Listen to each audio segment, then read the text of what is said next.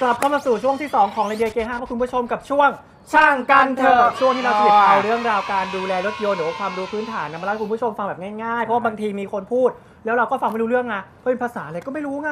เพราะฉะนั้นนะครับมันจึงเป็นเรื่องแง่สำหรับคุณผู้ชายต้องรู้จริง คุณผู้หญิงก็ต้องรู้ทัน สมันเก้งกวางอย่างเนี่ยก็ต้องรู้ไว้ด้วย นี่อยากจะฟาดกันมากเลยฮะสัปดาห์นี้ใช่ไหม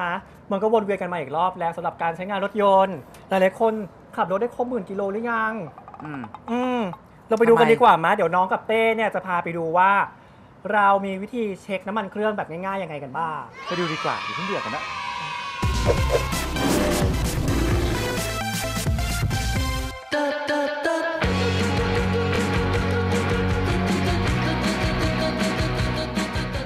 คือน้ำมันเครื่องนี่นะครับ มันมันเปรียบเสมือนอะไรรู้ไหมตอย มันเปรียบเสมือนเปรียบเสมือนอะไร คนเรานี่นะครับ ที่เราต้องการสารหล่อลื่น ในการที่เราจะทำ เดี๋ยวเดี๋ยวเดี๋ยวเดี๋ยว หิวมาจากไหนไม่ใช่เหรอ เปรียบไหมเปรียบไหมเป็นว่าอ๋อเหมือนร่างกายคนเราอะอืมต้องการน้ำดื่มอย่างนี้ เปรียบเสมือนเครื่องยนต์เนี่ยเวลาอืมใช้งานไปนานๆเนี่ยนานอือฮึก็จะเกิดอาการอ่อนล้าเหนื่อยเหงื่อออกใช่ไหม อ่อนล้าเหนื่อย ก็เลยต้องการความหล่อลื่นในตัวทำให้แบบการทำงานเนี่ยสามารถทำได้กระปี้กระเป๋าเดี๋ยวขึ้นเดี๋ยวนี่ทำอะไร ฮะนี่ทำอะไร ไม่ลูกสูบไงลูกสูบ อ๋อ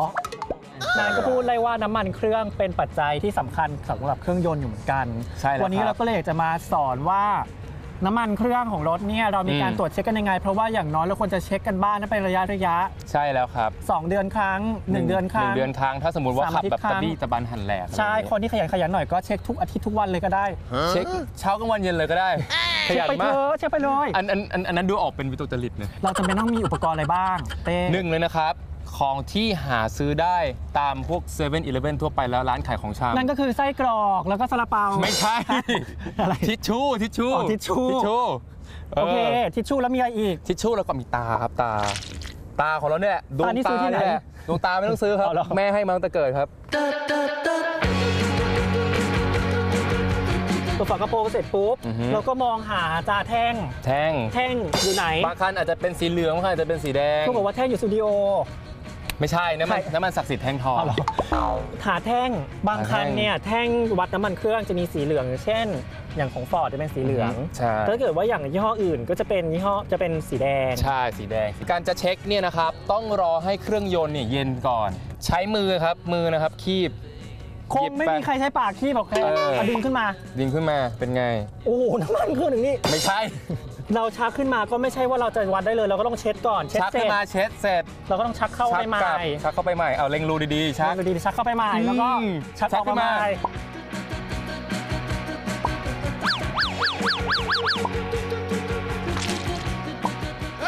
วิธีการดูระดับน้ำมันเครื่องเนี่ยก็คือว่า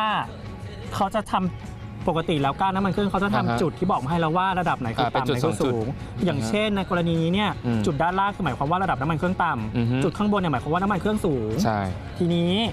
อันนี้หมายความว่าน้ำมันเครื่องเนี่ยอยู่ในระดับปกติ อืม อันนี้ก็จะเป็นหัวอีกแบบหนึ่งซึ่งอันนี้เนี่ยอย่างยี่ห้อนี้เขาก็ใช้วิธีทำการบั้งบั้งพลาสติกเอาไว้เพื่อให้ดูว่าอันไหนคือต่ำกับสูงซึ่งอันนี้ก็ถือว่าปกติเหมือนเหมือนกัน อือฮึ ทีนี้เนี่ยเราก็จะ พอเวลาเราวัดเสร็จไม่ใช่แค่ดูแค่ระดับอย่างเดียวนะจ๊ะ ต้องดูคุณภาพคุณขภาอพงน้ำมันเครื่องด้วยก็คือว่าพอสีเราใช่ไหมใช่อย่างอุ้ยเนี่ยอะทำไมนี่สีดูป่วยขนาดเนี้ยฮะตอย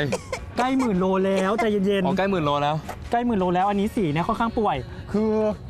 น้ำมันเครื่องใหม่ๆเนี่ยเวลาที่เออเราเปลี่ยนกันใหม่ๆน้ำมันเครื่องจะมีสีออกแดงทับทิม แต่ว่าถ้าเกิดน้ำมันเครื่องที่ผ่านการใช้งานอย่างสมมติคันนี้เนี่ยวิ่งมาเกือบหมื่นกิโลเมตรหลังจากเปลี่ยนครั้งล่าสุดแล้วเนี่ยสีก็จะออกแบบว่าสีน้ำตาลเข้มๆหน่อยอ๋อน้ำมันเครื่องที่สุขภาพไม่ดีก็คือน้ำมันเครื่องที่สีเข้มมาก เหมือนประมาณว่าดึงโคลนขึ้นมาจากเครื่องยนต์มหรือว่าเหมือนกับ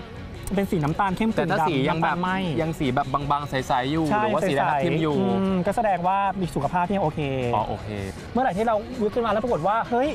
ระดับน้ำมันเครื่องเนี่ยอืม มันดูใกล้กับขีดล่างแล้ว อือฮึ เราก็ต้องทำการเปลี่ยนถ่ายน้ำมันเครื่อง หรือทำการเติมก็ได้ ใช่ แล้วก็เติมนี่นะครับท่านผู้ชมต้องบอกไว้ก่อนว่าเติมไม่ใช่ว่าหวังดีกับเครื่องมากไง อืม โอ้โห เทไปทั้งแกลลอน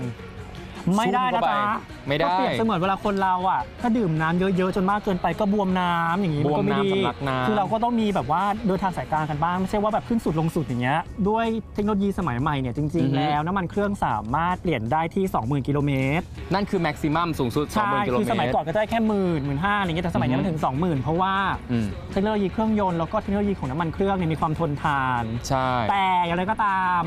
ภายใต้สภาวะการขับขี่ในเมืองไทยและกรุงเทพ ใช่ขับจอดขับจอด ไฟแดงติดเป็นชั่วโมงอย่างนี้ ใช่ แล้วก็อยู่บนท้องถนนที่ติดขัดเป็นเวลานานเราก็เลยยังอืมอยากจะแนะนำให้ทุกคนเนี่ยเปลี่ยนน้ำมันเครื่องที่ 10,000กิโลเมตรถึง 15,000กิโลเมตรใช่ อย่าเกินกว่านี้เพราะว่าจริง ๆ แล้วอะจะถึง 20,000นะนะ มันก็ได้แหละ แต่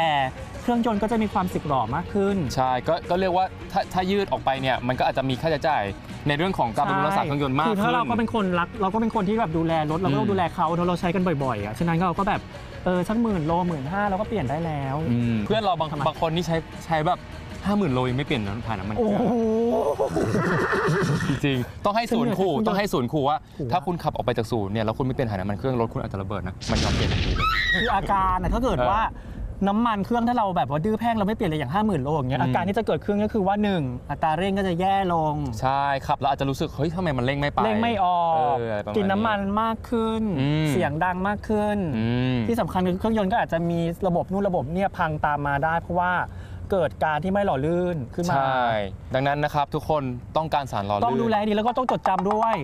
นี่ใช่ทริคทริคบ้านฉันคือ ยังไง เปลี่ยนน้ำมันทุกๆ เลขกลมๆ เช่นแบบว่าเลขกลมเลขกลมๆก็คือเลขผอมๆเลขไม่ผอมฮะๆไม่ใช่ เลขกลมๆก็คือเปลี่ยนทุกแบบหมื่นโลก็แบบอะอีกต่อไปหมื่นหนึ่งสองหมื่นโลเออสามหมื่นโลอะไรอย่างนี้เราก็จำไว้อืม ทำไม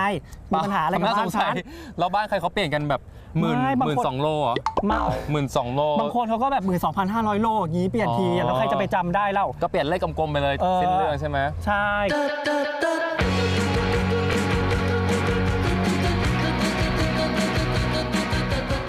การเลือกน้ำมันเครื่องเนี่ยก็เหมือนกับการที่เราเลือกสารอาหารให้กับตัวเราเองนี่แหละใช่ใช่ถูกเราต้ต้อองงการถูกโปรต้อง ตีนเท่าไหร่แคลเซียมเท่าไหร่วิตามินอะไรเท่าไหร่ถูกใช่ไหม ถูกต้องมากเลยใช่แล้วแล้วทีนี้เนี่ยนอกจากนั้นเราก็ชี้เห็นความสำคัญของน้ำมันเครื่องด้วยว่าเป็นสิ่งที่สำคัญมากสำหรับอือฮึ การใช้รถยนต์